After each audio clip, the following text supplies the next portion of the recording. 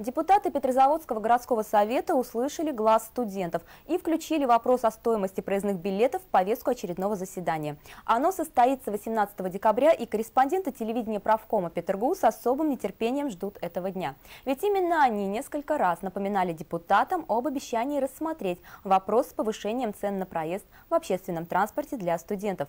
Напоминали видеороликами.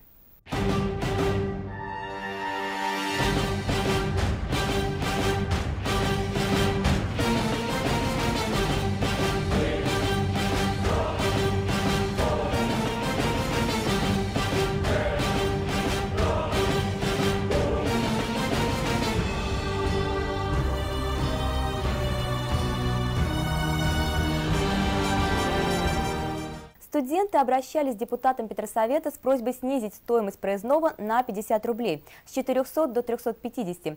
Кроме того, по их мнению, стоит разработать единые льготные студенческие проездные билеты для всех видов общественного транспорта. Эти вопросы будут решаться 18 декабря. А пока суд до дела, студенты записали еще одно многозначительное видео – новогоднее обращение к дедушке-чиновнику и попросили подарок под елочку. Дорогой дедушка-чиновник, в этом году я хочу попросить у тебя подарок, который дедушки других городов уже сделали. Подари мне, пожалуйста, единый проездной билет на автобусы и троллейбусы города Петрозаводска. Как видишь, я тебя многом не прошу.